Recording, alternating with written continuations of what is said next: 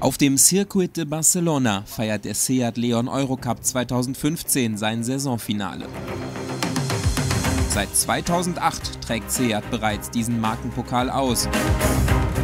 Die Teams bereiten sich auf das bevorstehende Rennen vor, aber alle wissen, es wird sehr hart. Auch der Vorjahressieger Paul Rosell vom Team Baporo stellt sich auf ein hartes Rennen ein.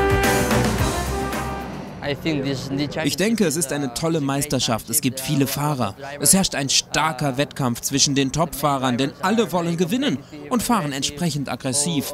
Dementsprechend schwer ist es, aufs Podium zu fahren. Wenn man dahin will, muss man kämpfen. Nach sechs Europarennen starten der Spanier Paul Rosell vom Team Baporo Motorsport und der Norweger Stian Paulsen von Paulsen Motorsport mit 72 Punkten gleich auf in das alles entscheidende Rennen um die Meisterschaft.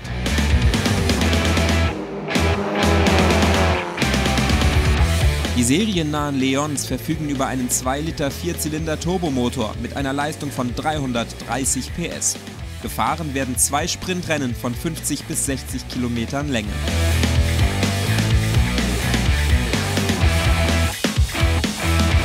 Paul Rosell konnte das erste der zwei pro Rennwochenenden gefahrenen Rennen vom Start weg dominieren. Im zweiten Rennen reichen ihm dann die eingefahrenen Punkte aus dem ersten Rennen, um die Meisterschaft zum zweiten Mal nach 2014 zu gewinnen.